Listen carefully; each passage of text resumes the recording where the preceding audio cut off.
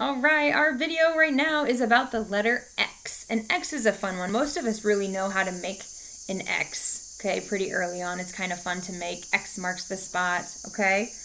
X is kind of a crazy letter in the fact that we don't hear its sound at the beginning of a word.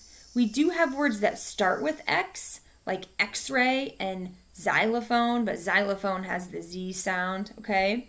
So X is only found at the end of words when it makes its sound. So for example, in the word fox, okay, we hear the X sound at the end.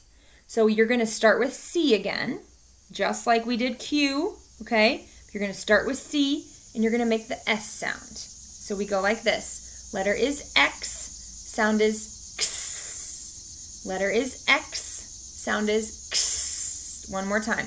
Letter is X, sound is and like I said, it's found at the end of words like fox, axe, ox. Okay, that x sound. So practice your x sound and practice finding your x. Good job.